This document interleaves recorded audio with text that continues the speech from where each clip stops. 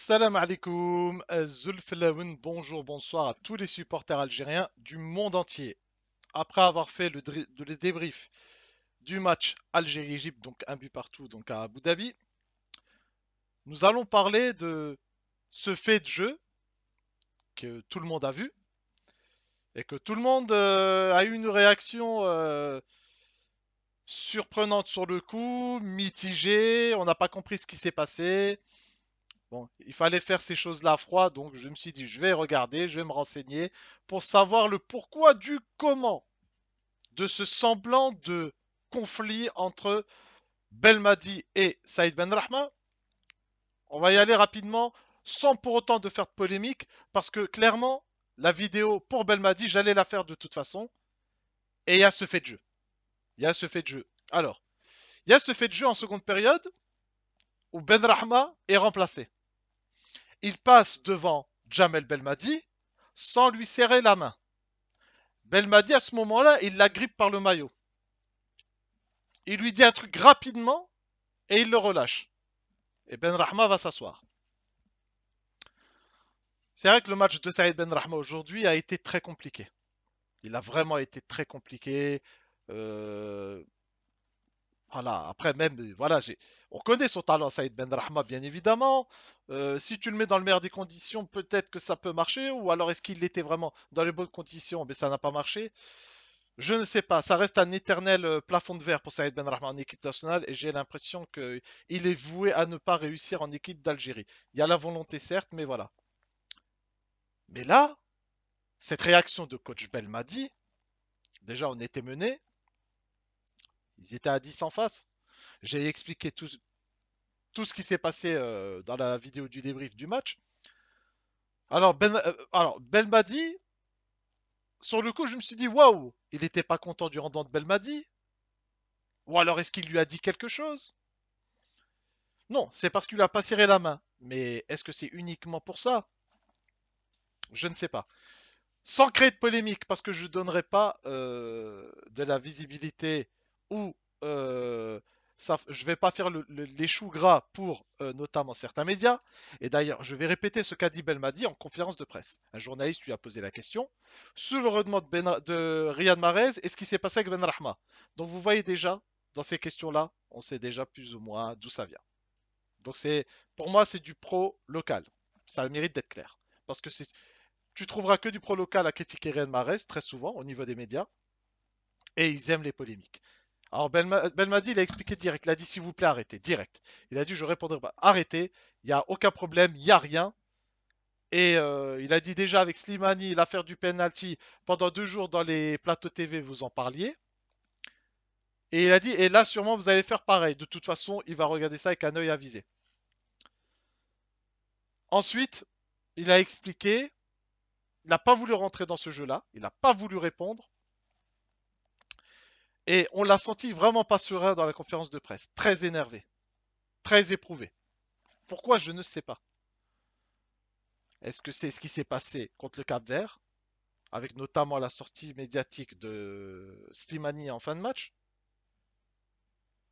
Est-ce qu'il y a une petite tension dans le groupe? Ne serait-ce qu'une petite, parce que bon, ce ne sont pas des choses. hein. Slimani a manqué de tact. Slimani, certes, a été buteur ce soir, mais Slimani a manqué de tact. Il y a quelque chose qui ne va pas. Moi, je le répète. Coach Belmadi, et sans m'éterniser maintenant sur l'affaire Benrahma, voilà. Justement, tu as dit en conférence de presse, il faut parler de ça en privé. Eh ben, fallait pas faire ce geste en public. T'aurais pu lui tenir la main, lui dire un truc dans l'oreille. En gros, on va régler ça après dans le vestiaire. Ce geste-là, non. Mais bon, on peut comprendre. euh, L'être humain n'est pas parfait. Tu peux avoir des coups de nerfs. T'as envie de bien faire. Il n'y a pas de souci. Mais allez. Moi, Bell m'a dit, je soutiens tout le temps. Mais maintenant, coach Bell m'a dit, notre équipe perd ses nerfs rapidement. Et pas aujourd'hui uniquement, dans d'autres matchs, mais surtout contre ce type d'équipe. Ce type d'équipe qui peut énerver. Et vous savez, depuis très longtemps, et Belmadi le sait très bien, il a été joueur en équipe d'Algérie. Il y a des équipes, comme l'Égypte par exemple, ils savent que quand tu joues, quand ils vont jouer contre l'Algérie ou le Maroc, la technique les énerver. Et ça marche. Très souvent, ça marche pour l'Égypte. Belmadi. Moi, je pense que dans cette équipe, et d'ailleurs avec ce qui s'est passé avec le Cameroun notamment, même si la plupart, ils sont presque, beaucoup ne sont plus là, cette équipe a besoin, ne serait-ce que d'un psychologue pour gérer les émotions. Et ça peut être très important pour la Coupe d'Afrique des Nations. Ça, c'est la première chose. La seconde, Belmadi, j'insiste, un milliard de fois si tu vois cette vidéo. Staff technique Roya. Avec ce staff, tu n'iras pas la Coupe du Monde et tu n'iras pas loin. Je pense que Coupe d'Afrique, ils vont te tomber dessus. Tu vas. Ça risque de planter. Et ce sera terminé. Je pars du principe que ce staff technique a failli l'an dernier. Certains diront, toi aussi, tu as failli. Comme objectif, oui. Que ce soit toi ou les joueurs, mais on sait très bien ce qui s'est passé pour les qualifs Coupe du Monde, il n'y a pas de souci. Mais maintenant, on va pas se cacher derrière ça tout le temps. Bien que ce soir, c'était énorme. Hein. L'arbitrage, c'était palme d'or. Mais bon, c'est des choses qu'on va rencontrer en Coupe d'Afrique. C'est des choses qui n'arrivent jamais en Europe. Mais on va pas rentrer dans ça. Ça cachera pas ce qui s'est passé ce soir. Il y a eu du bon, il y a eu du pas bon. C'est riche en enseignement. Et ça va nous préparer, c'est un très bon test pour préparer la Coupe d'Afrique des Nations. Et parce que c'était vraiment un match de Coupe d'Afrique ce soir. Haute intensité. Maintenant, ce qui va se passer. Quand je dis changement du staff technique, je parle de préparateur physique. Nos joueurs, depuis 2-3 ans, je suis désolé de le dire, mais physiquement, on est fatigué. Depuis le retour du truc mondial où il n'y avait plus de matchs, dès qu'on a repris, j'ai sorti que physiquement, on a pris un coup. Un changement de préparateur physique s'impose. Il faut mettre une pointure. Et je rappelle même, si je ne me trompe pas, qu'un préparateur physique de l'Égypte, ou alors pendant la dernière Cannes, c'est un Algérien. Et on a vu que l'équipe d'Égypte en Coupe d'Afrique, notamment en jouant des prolongations et des tirs au but, en jouant de longues périodes, ben ça a marché. On avait Cyril Moine à l'époque. Et quel staff technique de Vaïd à l'époque. Il avait Kourichi adjoint. Belmadi, toi aussi, il faut que tu te calmes. Moi déjà, je te donne un conseil. Arrête de regarder les réseaux sociaux. Arrête, arrête, arrête. Et surtout ces médias. Ton travail, c'est le terrain vert. Il y a un président de fédération maintenant qu'il en parle au service média, qu'il en parle même au ministère de la Jeunesse et des Sports, au niveau des médias, et disent que ces chaînes-là font de la fitna, sèment le trouble et qu'il faut faire le ménage. Il n'y a pas de problème. En Algérie, ça peut être très vite réglé. Le problème, Belmadi, t'es trop nerveux. Faut te canaliser. Belmadi, trouve un adjoint avec toi qui puisse te canaliser, partager. Prends un, ancien attaquant de l'équipe d'Algérie. Ou un ancien défenseur plutôt. Prends Korichi, pourquoi pas? Nordin Korishi. Ou prends quelqu'un d'autre. Mais il te faut un staff technique étoffé. Il faut le renforcer parce que sinon ça va pas marcher. Ça va pas marcher et je le sais très bien. Cette équipe, elle sera protégée par le président de fédération. Mais Ben m'a ton staff, il te faut du 109. Ça va pas marcher sinon. J'espère me tromper. On chante là que je me trompe. Parce que j'ai une fâcheuse, j'ai une fâcheuse tendance à dire ces derniers temps beaucoup de vérité. Et bien que je souhaite ne pas avoir euh, raison, eh ben ça arrive. Bien sûr, il y aura toujours des problèmes d'arbitrage, mais il faut pas rentrer dans ce délire-là. Belmadi ne parle plus de ça. On est habitué maintenant. Tu connais le contenu africain, que ce soit en tant que coach ou même en tant que joueur à l'époque. Là, c'est pas la peine. C'est à la Fédé de faire son boulot au niveau des arbitres.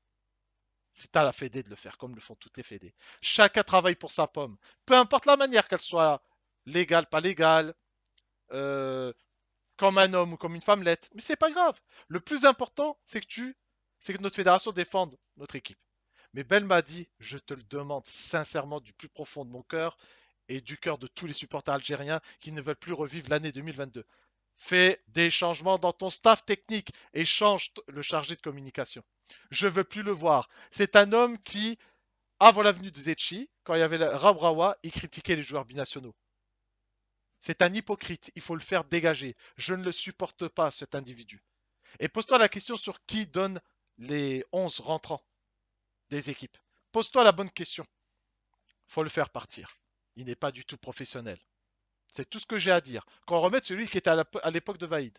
Vaïd, il avait un staff technique hyper compétent et il avait un chargé de communication compétent. Et justement, en choisissant un vrai chargé de communication, tu n'auras même plus besoin de parler. Toi, ton travail, tu parles à la conférence de presse, tu t'éternises pas. 20-25 minutes de conférence de presse. Assalamu alaikum.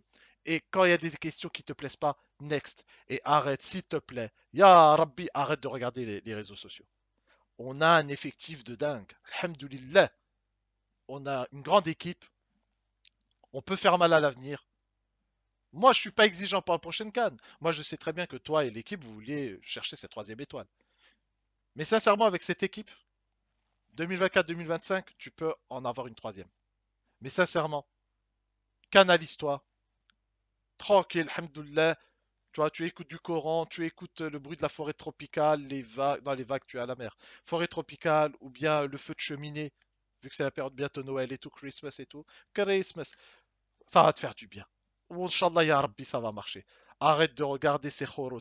T'inquiète pas pour les chorot des médias, des aides algériens, les, les merdias, comme je dis. On s'occupe d'eux, on est là, on est sur les réseaux. Concentre-toi sur les joueurs. Concentre-toi sur ton travail. Artek.